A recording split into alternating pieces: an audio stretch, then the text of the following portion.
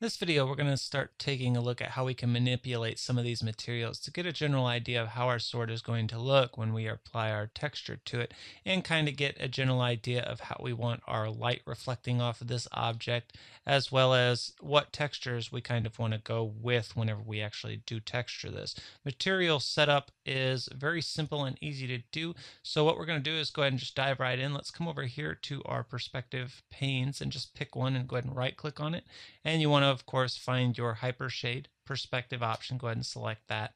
And that's going to open up our hypershade like we showed in the previous video. And also it's going to make our sword to where we can look at our materials as we're dealing with it. Again, you can, if your camera is not pivoted on your sword, you can select your sword, hit F on your keyboard. It will rotate around the sword that we have selected. So let's go ahead and start with the blade, seeing how that is at the top. Now we don't have to select the sword. We can go ahead and just select our blade material and make sure your attribute editor is open. Go ahead and hit Control A if it's not, and that'll bring it up. And you can see the first thing that we're going to come across here is that we have common material attributes. Now this is exactly what it says it is. It's the color, the transparency, ambient color, incandescence. Each one of these sliders is going to control the value that it says it's going to control, which makes it very simple to understand how to make use of this. Now, of course, we have under type, you have the Blinn and all the different types. Like if I were to switch this to Lambert, that would change the material type to a Lambert. And again, we discussed this in the previous video. We want Blinn because Blinn is sort of like bling. It's a metal but let's go ahead and start with changing the color. Before I start messing with materials, I always want to make sure that I press 6 on my keyboard. So I'm going to select this window here and press 6. And I'm going to reselect the blade. That'll make sure we're in shaded display so we can see the changes that we make. And we also want to go to renderer and make sure we have it set to viewport 2.0. Now with those options selected, I'm going to select the blade and I'm going to come over here to color and I'm going to go ahead and raise this color up a bit because I think the blade would be a little bit brighter of a shade. Now, again, you can also pick a specific color by selecting the box next to the word color, and you're going to get this window that's going to pop up, and you can be a lot more specific as to the color itself. So you're going to be able to just move this little dot inside of this box, and you can even get different hues by rotating around this area here. So if I wanted like bluer hues, I could go like that. Now naturally I don't want any of these, so I'm going to reset this.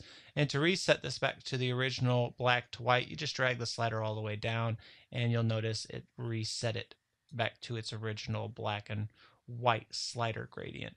So now I'm going to go ahead and just leave that like that. And I want it to be a bit more shiny because it seems a little dull to me, like not so much what the steel blade would be shiny. It'd be a bit more reflective than this. So I'll come down here to specular. And specular is going to control how light reflects off the surface or how shiny the surface is. That's the best way to look at specular. So I can go ahead and just play with these settings. Maybe the eccentricity, I'll raise this up a little bit.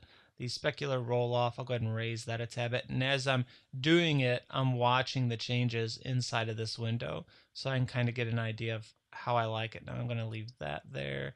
Maybe the reflectivity, I'll go ahead and just set that right about there. And I think this looks pretty good for a steel starting point for our material. So I'm happy with that there. And maybe the reflective color, I'll bring that up just a hair. And I think I like that setting right there. Now with the hilt, I'm going to go ahead and zoom in closer on the hilt here. And I'm going to go ahead and select the hilt material. So I can make adjustments to this. And again, like I said before, we can click on the box to make adjustments to the color of this. Let's say I wanted this to be sort of a bronzish type color. So I'll change the hue to kind of a yellowish and get me within this kind of area where I can take a look at that and that looks pretty good. Now, is it shiny enough? Am I feeling like this is shiny enough? Maybe I want to make it a bit more shiny. So I'll come down to the specular shading and I'll go ahead and raise the eccentricity and I'll go ahead and maybe make it a little bit dull, but its eccentricity a little bit higher. So it kind of shines a bit more. These, these are all about messing with the adjustments. Now again, the specular color, just like we can adjust the overall color, we can adjust the specular color by clicking the box. And you can kind of see how that's going to make changes to the way this material interacts with the shine there. And you just play around with this, kind of get a general idea. I think I'm going to raise this to like yellow kind of go something like that. And again, you want to kind of move around it to see how your changes are affecting it. So just do I feel like that's pretty good? Maybe I want the reflective color up a bit more and that looks pretty nice to me. I'll go ahead and just leave that there. And again, you can play around with these settings as much as you want.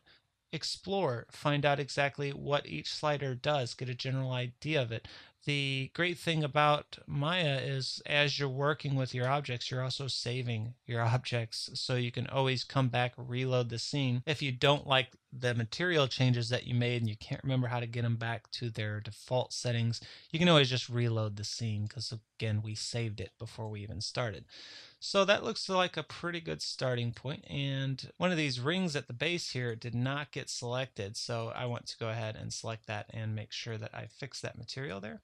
So I'm going to go ahead, just marquee over bowl, select this bottom one, and I'll go ahead and just select our rope handles. For the handle rope, I'll right click on this and I'll assign that material. That way I know that it's the same as all the other ones. So with this all taken care of, let's take a look at our hilt handle ropes. So I'm going to select the handle ropes and I'm going to make some adjustments to this. So this all looks pretty good. Maybe I want to make this sort of a twine rope color. So I'll go into the color here and I'll make some adjustments. Again, you can also use these sliders to get the hue and stuff. So I'm kind of making adjustments here and that looks like a pretty good starting point. So again, I'm just making adjustments, making it look how I want it to look, just to get a general idea of how everything's going to look. And I'm not going to really mess with the specular so much on this.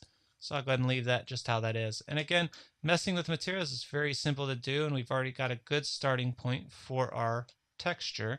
And let's go ahead and take a look here. One more thing, this right here, this hilt part. So in the next video, we're going to take a look at using substances so we can apply a wood effect on this handle that we have this twine going around. If you have any questions or comments, please post below the video on brainpoof.com and click subscribe to follow us on YouTube.